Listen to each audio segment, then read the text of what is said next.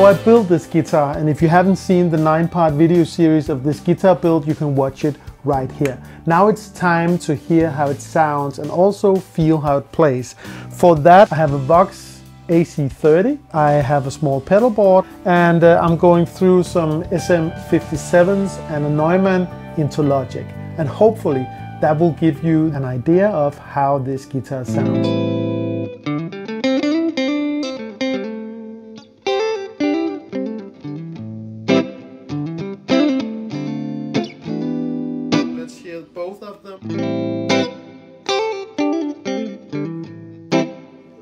Twang. And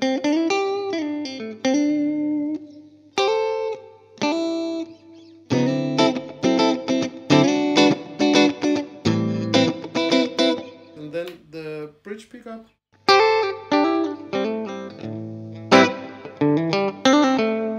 Also with the open string. So to really get to know an instrument, you have to make music with it. So I made some tracks, one with clean sounds and one with more distorted and uh, effect sounds, uh, all the reverb, delay, flanger, chorus, all that nice stuff, fuzz also. So check it out.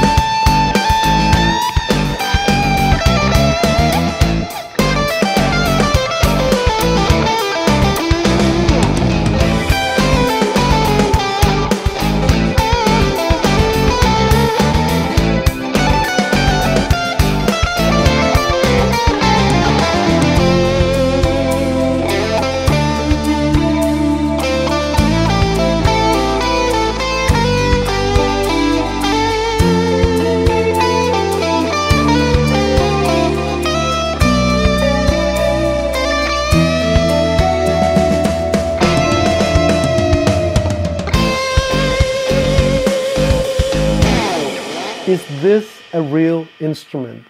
Well, what constitutes a good instrument? It's an instrument that makes you want to play. And I have to say, whenever I pass by this guitar, I want to pick it up and I want to play. I have been uh, practicing much more since I got this. So for me, this is an absolute great instrument. I really, really love it. And I have to say, I'm, I'm pretty astounded that I succeeded with building this guitar. So what's next? Well, you might remember that I made three bodies. So I still have two left, one ash and one 200 year old pine. So I want to make more guitars. Also, I want to shield the guitar. I haven't shielded it yet, but I actually bought some conductive paint and I want to shield and see if, the, if it works or not. Stay tuned for that at some point. I had some trouble with the E string at some point. It sounded weird. There's this sound. What to do? I have no idea. And I found the solution for that and I want to tell you how I did that. So please stay tuned and if you like this uh, content, uh, please subscribe, hit the like button, uh, hit the little bell icon, and I'll see you in the next video.